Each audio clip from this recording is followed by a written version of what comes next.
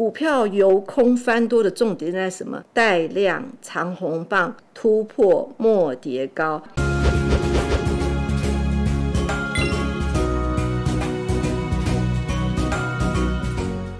玉龙呢？早期比较大的贡献就是大家都知道，就是玉日测的部分。那在二零二二年之前呢，它都可以呃贡献玉龙获利大概三十亿左右。但是呢，因为量产这个地方呢，它就是电动车推动出来的速度比较缓慢，那所以说呃使它在中国大陆市场这个地方的销售受到了呃影响，所以预日测对于玉龙的贡献获利就下滑了。下滑以后呢，那目前来讲转投资呃收益最大大的就是呃持股五十 percent 的那个玉龙，它早期就是做所谓的汽车贷款的那个业务为主。那对玉龙的获利的贡献度呢？呃，近年来随着租赁业的表现是稳定的呃成长，但是二零二二年这个地方呢，它的转投资事业这个地方有受到伤害，是为什么呢？就是说它有转投资十七点八的新安东京产险，大家也知道防疫险的呃原因，让国内的产险公司呃都受到一个比较呃巨大的呃影响。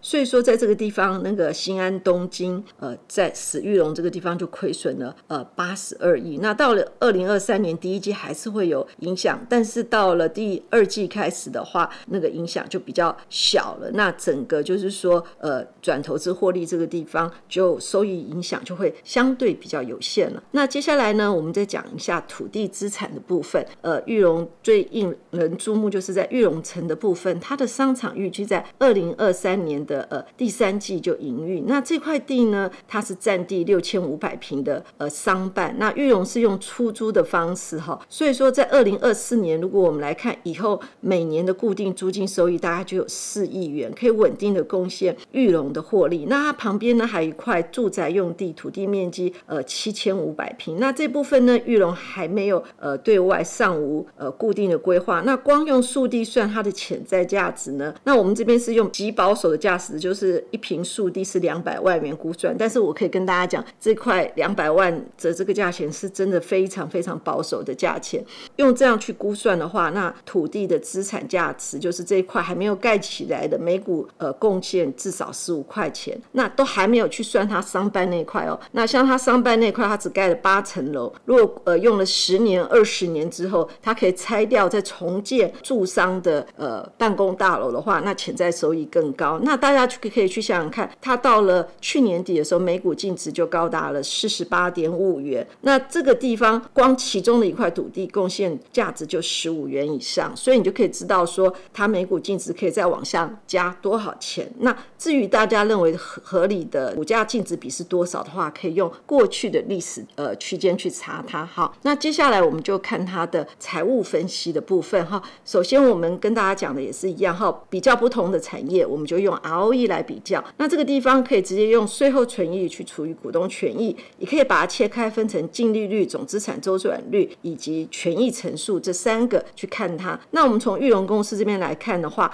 我想二零二二年的亏损，我们刚刚已经解释过了，就是东京产险这个地方所造成的亏亏损，所以让它的 ROE 这个地方也变成的负数，然后税后存益率这个地方也是负数。那在所谓的总资产周转率跟权益乘数这个地方，呃，变变化并不大。那接下去呢，我们看它二零二二年的地方虽然是亏损的，但是在二零二三年这个地方呢，我们可以看到在那个呃 EPS 部分，因为租金收益的贡献，还有包括了就是说电动车代工销售的部分，还有在土地的租金收入贡献部分，那二零二三年预计的 EPS 就高达了六点零六元，然后到二零二四年还是持续成长的，所谓什么七点零一元。好，OK，那我们接下去看一下技术面的分析。好，在技术面这个地方呢，我们可以看到玉龙在一九九零年挂牌，然后一直到了二零一一年这个地方，期间经过了二十年间，它是走了一高、二高、三高、四高，然后接下去呢，它就做了一个回档的动作。就我们教大家的 N 型理论，大家如果有兴趣的话，可以去播放清单看，是不是就是一个很明显的大的 N 上，接下去就什么 N 下，股价。价都几乎快被打到起涨的原点了。然后到了这个地方呢，因为呃，包括了就是说，它跟红海在电动车的发展，还有它的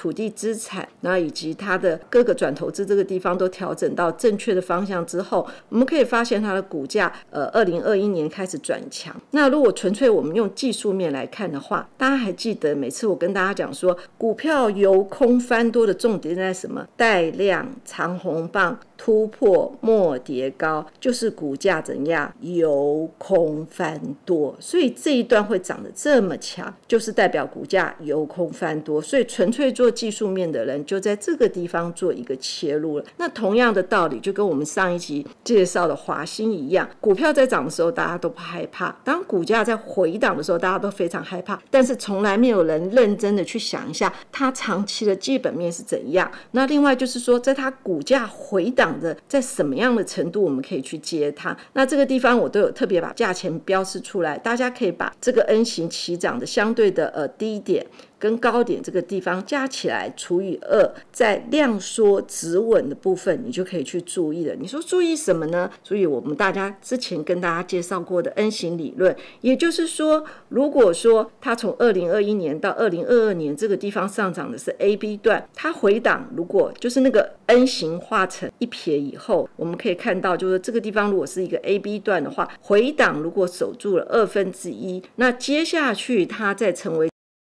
的几率就相对比较成功上。那即使没有成为。